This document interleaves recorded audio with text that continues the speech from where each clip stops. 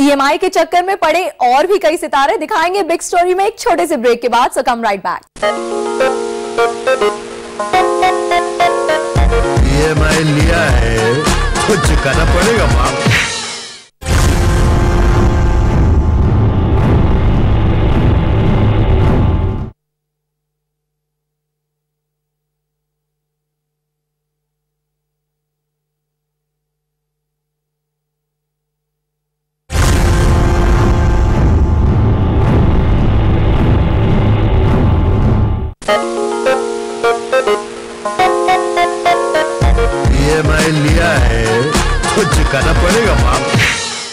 welcome back to planet Bollywood the big story आज हम बात कर रहे हैं ईएमआई के चक्कर की।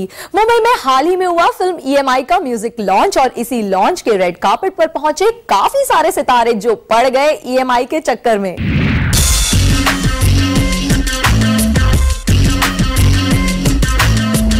ये नज़ारा देख आप सोच में तो ज़रूर पड़ गए होंगे कि यहाँ किसी बड़ी फ़िल्म का प्रीमियर हो रहा है। और इसीलिए यहाँ इतने सारे सितारे रेड कारपेट पर अपना जलवा दिखा रहे हैं।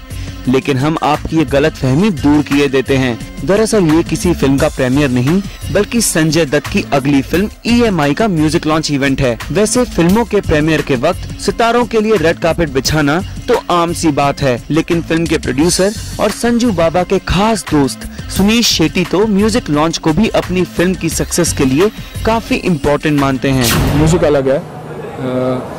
It's a it's a it's a combination of all different kind of songs and I hope it works चलिए अन्ना तो अपनी फ़िल्म की बॉक्स ऑफ़िस सक्सेस पक्की करने के लिए पूरा ज़ोर लगा ही रहे हैं। और खुशी की बात ये है कि इस काम में उनका साथ दे रही हैं फ़िल्म की को प्रोड्यूसर एकता कपूर भी। The music of the film is fab इतना अच्छा म्यूज़िक मैंने बहुत टाइम बाद सुना है and I think that song Chori Chori is gonna strong the charts when you have song like that when you have music like that why not give it a, like a bash to lots of music? इन दोनों की बातों से तो ऐसा लगता है कि सुनील और एकता ईएमआई को बनाना चाहते हैं ब्लॉकबस्टर और इसके लिए वो सहारा ले रहे हैं फ़िल्म के डिफरेंट म्यूज़िक का। हम ये चाहते थे कि कुछ रूटीन ना हो ये दिवाली की रिलीज़ है बहुत बड़ी फ़िल्म है। And from publicity point of view we thought अगर हम uh, कुछ बड़ा करें तो इम्पैक्ट होगा। खैर वैसे इस म्यूज़िक लॉन्च में बॉलीवुड स्टार्स की भीड़ नज़र आई और इन स्टार्स ने पूरी गर्म जोशी के साथ रेड कार्पेट पर सिजल किया। तो हमने भी इन स्टार्स से पूछ ही लिया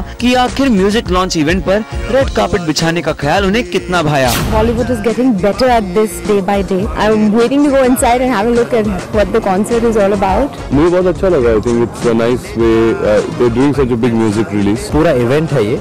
It's not just a red carpet. I think this is done more in fun to give that rock kind of feeling and that uh, starry, glittery event which it is tonight. मेरे हिसाब से बहुत नया novel idea है। अच्छी बात है। Standard improve हो रहा है। Sunil Shetty is very creative guy and he is done something different ये अच्छी बात है कि हम लोग म्यूज़िक को इतना इम्पोर्टेंस दे रहे हैं। सिर्फ़ फ़िल्म स्टार्स ही नहीं बल्कि टेलीविज़न की दुनिया के सितारे भी इस मौके को एंजॉय करते हुए नज़र आए जो यहाँ एकता कपूर और बालाजी को सपोर्ट करने पहुँचे थे। आखिर ई बालाजी की फ़िल्म जो ठहरी। बहुत बढ़िया आइडिया है। एकदम आप ही आप ही देख रहे हैं आप ही फील कर रहे हैं हम भी फील कर रहे हैं बहुत स्पेशल फीलिंग होती है मज़ा आ रहा है। Film industry music industry show business in India is growing leaps and bound so red carpet we going to see more and more media we going to see more and more इतना तो साफ़ है कि Ram Kapoor small screen की ताकत को सबसे बढ़कर मानते हैं लेकिन यहाँ असली जलवा तो बॉलीवुड स्टार्स का था। फ़िल्म प्रीमियर तो फ़िल्म प्रीमियर ईएमआई की म्यूज़िक लॉन्च के लिए भी सभी नज़र आए थे अपने बेस्ट आउटफिट्स में।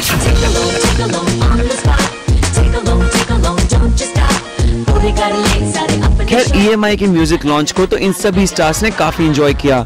अब इंतज़ार है तो सिर्फ़ ईएमआई के प्रीमियर का। और शायद सुनील और एकता ने अपनी फ़िल्म के प्रीमियर को और भी ग्रैंड स्केल पर करने की सोच ली है। देखिए क्या होता है? विल प्लान नाउ आपके पास अन्ना है संजू सर है बाबा है अर्जुन है उर्मिला है मलाइका है नेहा है आशीष है। You don't need any more star चलिए हम भी इंतज़ार करेंगे ईएमआई के प्रीमियर के रेड कार्पेट का। और हो सकता है म्यूज़िक लॉन्च के मुकाबले इस फ़िल्म के प्रीमियर का रेड कार्पेट ज़्यादा रंगीन हो। कुणाल मांडेकर के साथ पारस कोठारी जूम मुंबई